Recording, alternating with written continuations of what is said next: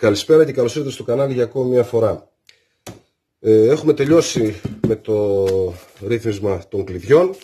Έχουμε τελειώσει με οτιδήποτε χρειάζεται πάνω στις κάνεις να χτυπήσουμε. Οι κάνεις μας είναι έτοιμες για βάψιμο. Θα χρησιμοποιήσουμε όπως είπαμε και πριν τη μέθοδο της κρύας βαφής, το γνωστό bluing δηλαδή. Εύκολα πραγματάκια, θα σας δείξω πώς γίνεται, μπορείτε να το κάνετε και μόνοι σας στο σπίτι. Για τη δουλειά αυτή θα χρησιμοποιήσω το kit ε, της Birchwood. Είναι ένα kit με τρία συστατικά. Καθαριστικό. Ένα remover για να φύγει σκουριά, λάδια και βρωμιές πάνω από τις κάνες. Και η λοσιόν που θα μαυρίσει τις κάνες μας. Απαραίτητα γαντάκια. Σφουγγαράκι Scotch Brite ένα σύρμα χοντρό και ένα σύρμα ψηλό και νεράκι. Πρώτα απ' όλα, τι πρέπει να κάνουμε; Πρέπει να καθαρίσουμε πολύ πολύ καλά τις κάνες μας. Δεν πρέπει να υπάρχει πάνω κανένα ίχνος από το προηγούμενο χρώμα, συγκεκριμένη δεν υπάρχει. Δεν πρέπει να υπάρχουν υπολείμματα από λάδια, δεν πρέπει να υπάρχουν υπολείμματα από σκουριά, γιατί αλλιώς η λοσιόν δεν θα δράσεις, δεν θα δουλέψεις καθόλου. Ε, το μυστικό ποιο είναι, το καλό καθάρισμα. Με το σφουγγαράκι αυτό, δεν το χρειάζομαι όλο, θα το κόψω.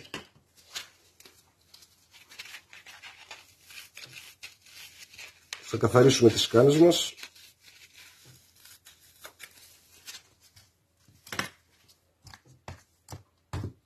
Με το σε ένα σαπούνι είναι.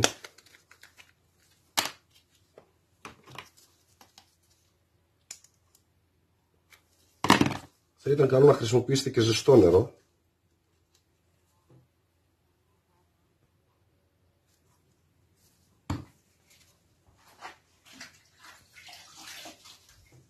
Έχω πάρει ένα κουβά νερό.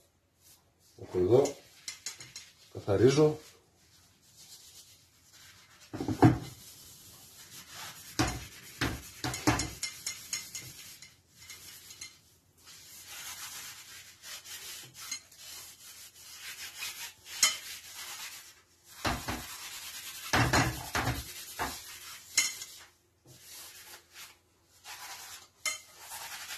Η κρύα βαφή με, με το συγκεκριμένο kit απαιτεί όπως είπα πολύ καλό καθάρισμα. Μετά το καθάρισμα και μετά τη χρήση του remover, που θα φύγει δηλαδή σκουριά και οτιδήποτε άλλο, το remover μυρίζει λίγο παραπάνω. Εγώ θα ήθελα να βάλω τρία σκούλο. Ε, δεν πρέπει να πιάσουμε το όπλο με γυμνά χέρια. Γιατί θα μείνουν στάμπες από το δέρμα μας, θα μείνουν δαχτυλιές και μετά το βάψιμο θα φαίνονται. Επίσης θα ήταν καλό να μην χρησιμοποιήσετε γάντια που έχουν πούδρα γιατί η πούδρα αφήνει λεκέδες. Χρησιμοποιήστε μαύρα γάντια όπως σαν αυτά που έχω εδώ ή τέλος πάντων γάντια τα οποία δεν έχουν πούδρα.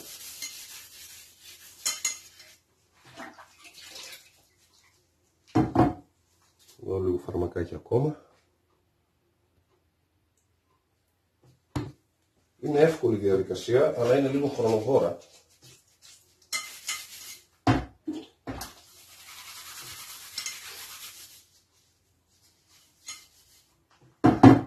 Πιο πολύ ώρα την τρώει το καθάρισμα. Θα πρέπει να καθαριστεί πριν πέσει πάνω το remover και θα πρέπει να καθαριστεί και μετά το remover.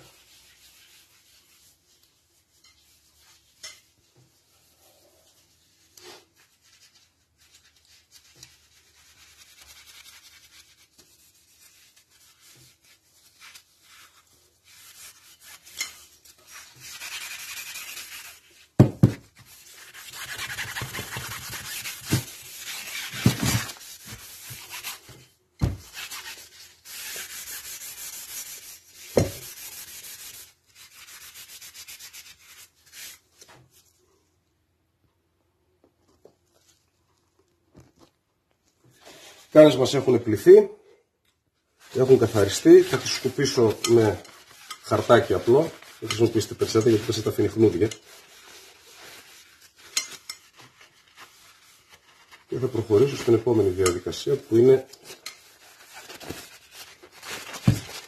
η απομάκρυνση της σκουριάς και οποιασδήποτε άλλης βρωμιάς υπάρχει επάνω στις κάνες.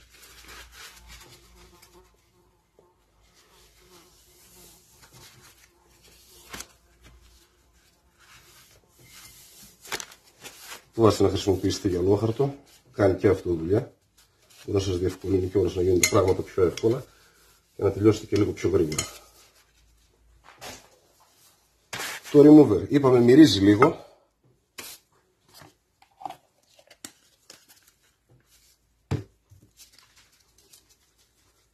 Και για να δράσει θέλει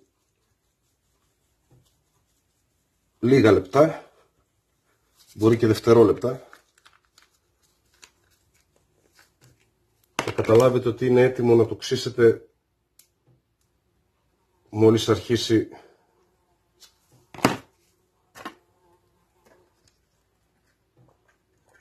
να βράζει αυτό θα δείτε ότι θα κάνει φυσαλίδες επάνω στην περιοχή που το έχετε ρίξει.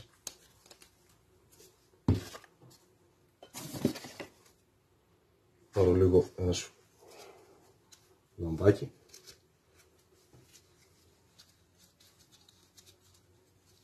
Απαραίτητα τα γάντια όταν βάζουμε remover, ειδικά με το remover τα γάντια απαραίτητα. Περάσω όλοι.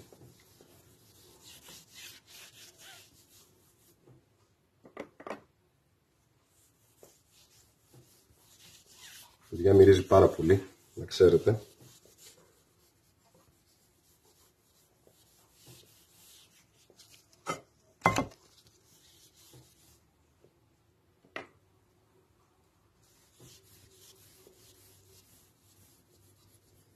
Μην το λυπηθείτε, βάλτε. Όσο πιο πολύ βάζετε, τόσο πιο γρήγορα θα ξεβρωμίσει και θα καθαρίσει.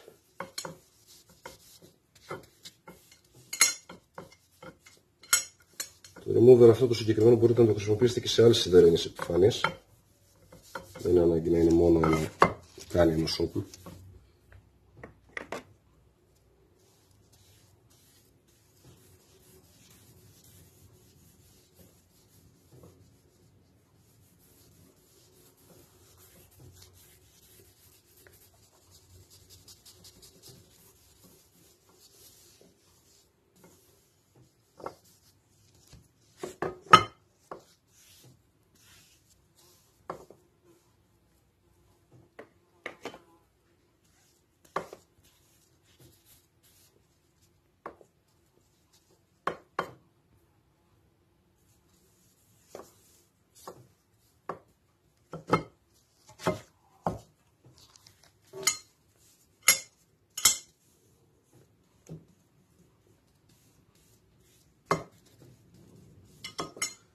Λοιπόν, θα περιμένουμε να δράσει και όταν είμαστε έτοιμοι θα ξεκινήσουμε πάλι το τρίψιμο με το σύρμα της κουζίνας.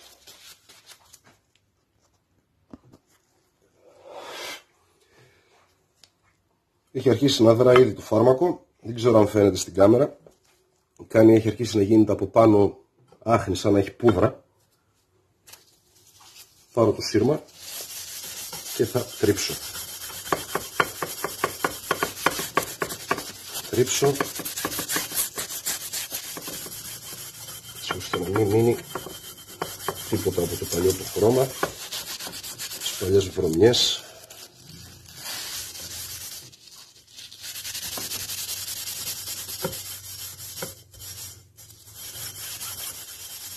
Υπόψη είναι ότι η κρύα βαφή αυτή που θα χρησιμοποιήσουμε σήμερα, αυτό το kit που θα χρησιμοποιήσουμε σήμερα, αλλά νομίζω και οι άλλες είναι έτσι.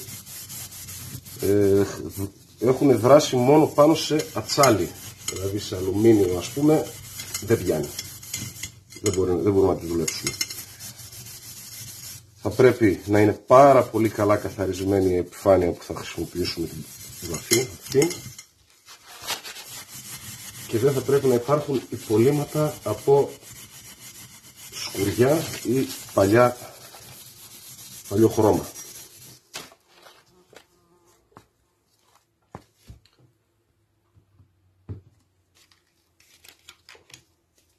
θα ποτίσω λίγο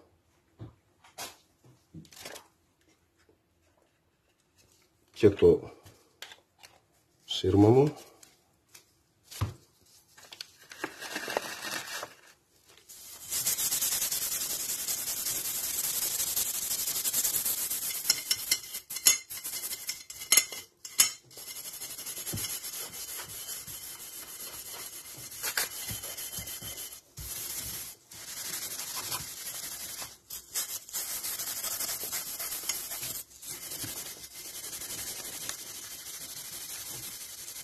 Το χρώμα πραγματικά εξαφανίζεται σε χρόνο μηδέν. Αυτό εδώ το remover. Στην κάμερα βέβαια δεν φαίνεται, αλλά αν το κάνετε εσείς θα το διαπιστώσετε αμέσως.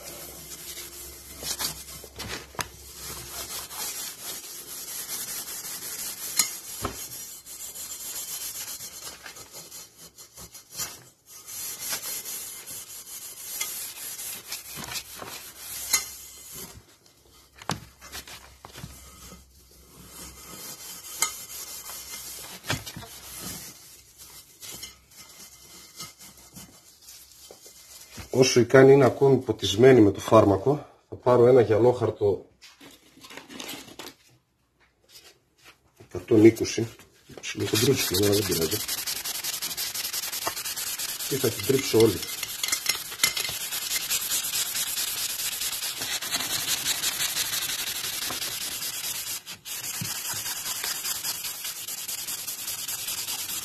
Δεν θα αφήσω τίποτα επάνω. Περάσω ακόμα λίγο.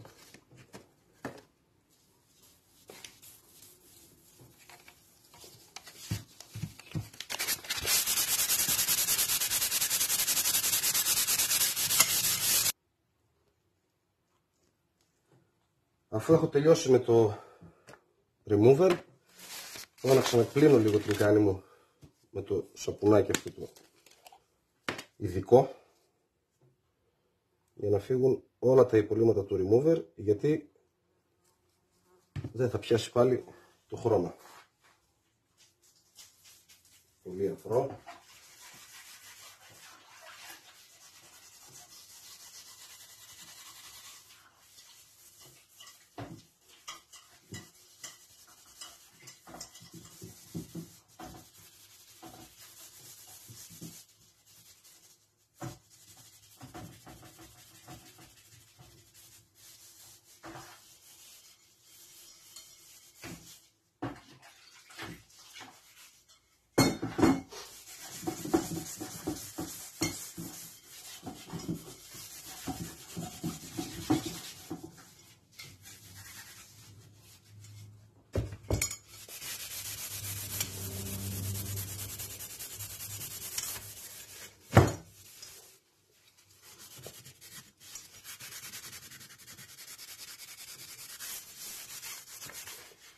Η μας είναι πεντακάθαρη.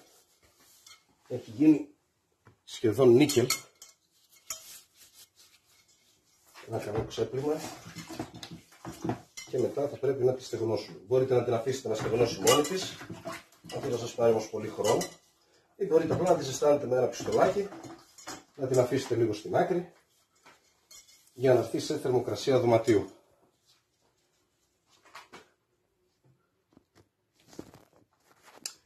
Λοιπόν, έχουμε τελειώσει από όλη τη διαδικασία του καθαρίσματος, του πλησίματος, της απομάκρυσης της σκουριάς και της βρωμιάς και τώρα πάμε στο τελικό στάδιο, το οποίο είναι το βάψιμο.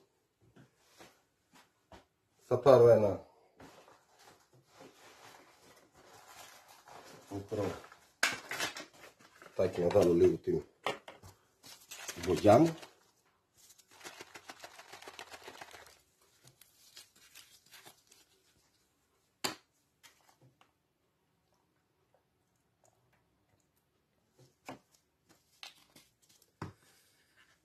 Κολπάκι ή ένα tip τέλος πάντων που πρέπει να γνωρίζει όποιος θέλει να ασχοληθεί με αυτό το πράγμα.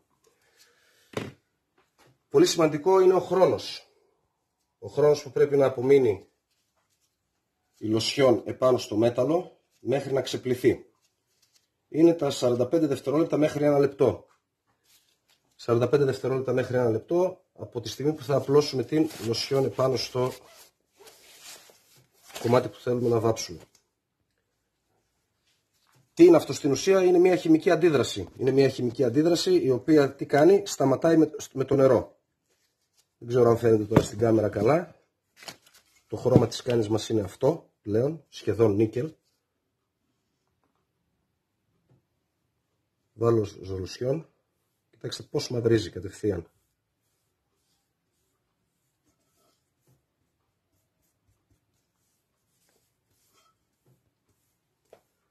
Όσο πιο μαύρο θέλω να είναι το κομμάτι που βάφω, τόσο πιο πολλά περάσματα θα κάνω. Εγώ συνήθως κάνω 3 με 4 περάσματα.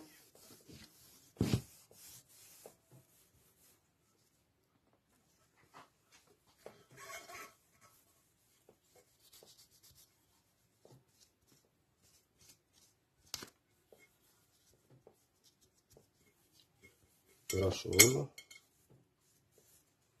να το στύψω κιόλας να πάει στα κρυφά σημεία που δεν φτάνει το χέρι. Η φορά δεν έχει σημασία. Μπορείτε να το κάνετε προς τα κάτω, μπορείτε να το κάνετε προς τα πάνω. Αλλά κάντε πάντα το ίδιο. Για να αποφύγουμε τα νερά που θα δημιουργηθούν μετά.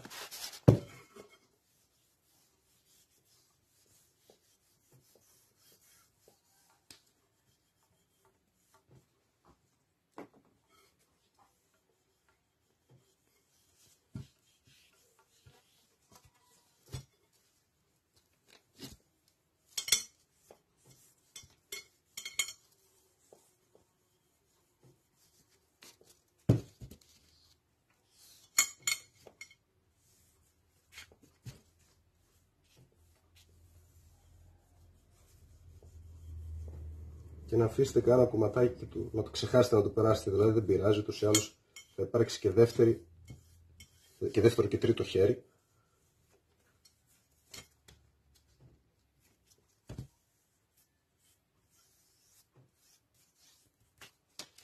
Λοιπόν, περάστηκε αυτό όλο. Το αφήσω τώρα εδώ λίγο να στερνώσει. 45 λεπτά.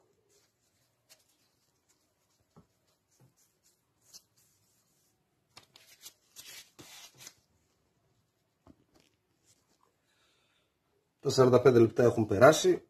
Θα κάνουμε ένα ξέπλυμα με νεράκι. Κρύο νερό. Δεν χρειάζεται κάτι παραπάνω. Πολύ το πολύ ζεστό, ούτε χλιαρό, απλά κρύο.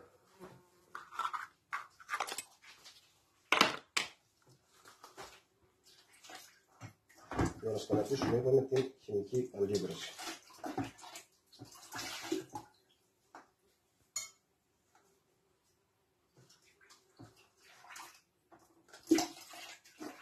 Μπορείτε να σκουπίσετε και μια βρεγμένη, βρεγμένη πετσέτα.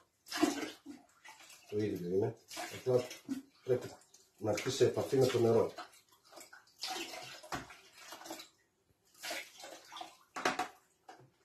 Και μετά σκούπισμα.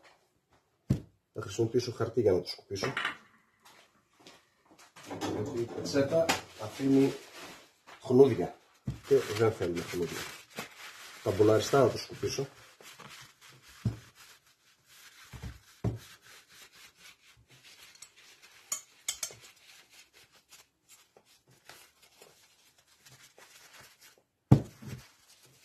Έχει μαυρίσει ήδη πάρα πολύ. Αρκετά. Και μόλις περάσουμε και ένα λαδάκι από πάνω, θα γυαλίζει κιόλας, θα γίνει ακόμη πιο μαύρο. Υπάρχουν κάποια σημεία τα οποία δεν έχει πιάσει, μάλλον δεν τα πέρασα εγώ δεν θα τα είδα.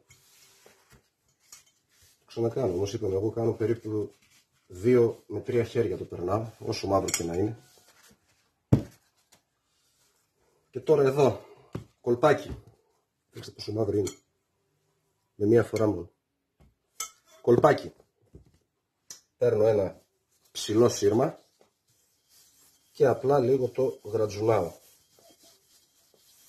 Απλώνω στην ουσία τι κάνω, απλώνω το χρώμα σε όλη την επιφάνεια. Όχι πολύ δυνατά, δεν το τρίβω, απλά ίσα ίσα το χαϊδεύω. Αυτή είναι η διαδικασία. Εάν θέλετε να είναι πιο μαύρο, ακολουθήστε την ίδια διαδικασία 2, 3 μέχρι και 4 φορές είναι καλά. Όταν τελειώσετε από όλο αυτό, μία στρώση λάδι, πολύ απαλή και αφήστε το. Το πλάκι σας θα είναι έτοιμο, η κάνη σας θα είναι βαμμένας σε αυτό το blue black χρώμα, ας πούμε. Και αυτό είναι το γνωστό blue ink. Και αυτό εδώ είναι το αποτέλεσμα, το τελικό αποτέλεσμα μετά από τρία, τέσσερα χέρια έκανα εγώ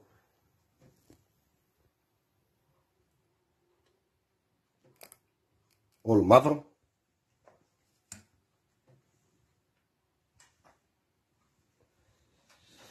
λοιπόν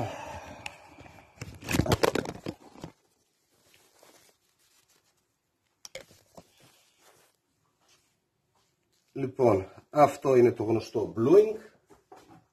Ήταν η διαδικασία που σας έδειξα.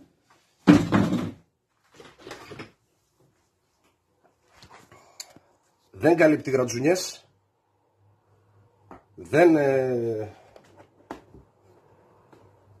δίνει σε καμία περίπτωση την ίδια προστασία που θα δώσει μια κεραμική βαφή. Απλά είναι μια λύση πιο εύκολη, πιο γρήγορη, πιο οικονομική για να κάνεις κάτι έτσι ώστε να έχεις μια προστασία για την κυνηγητική χρονιά που έρχεται. Αυτά για σήμερα. Αν σας άρεσε αυτό το βίντεο πατήστε ένα like. Αν έχετε κάποια απορία αφήστε μια περιγραφή από κάτω. Σας ευχαριστώ πολύ που παρακολουθήσατε. Μέχρι την επόμενη φορά να είστε όλοι καλά, να περνάτε καλά. Γεια σας.